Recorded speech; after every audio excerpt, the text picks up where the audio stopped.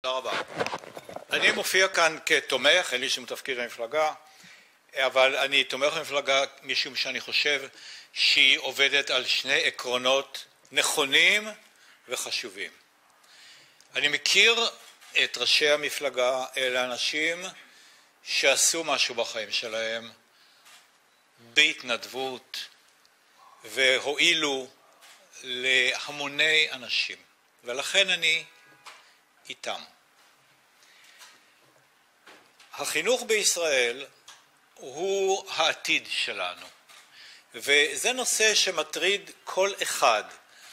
את הפנסיונרים זה מטריד שהנכדים שלהם לא תמיד זוכים בחינוך טוב, את ההורים זה מטריד אותו דבר.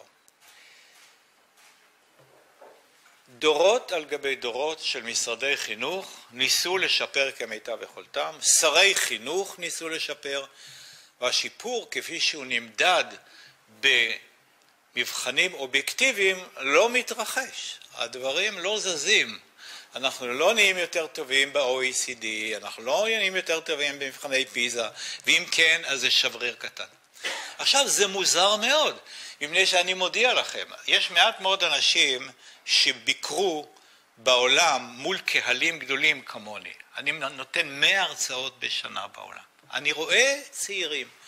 אין בעולם, באחריות, צעירים עם עיניים כל כך בורקות כמו הילדים והנכדים שלנו. אין כאלה בעולם.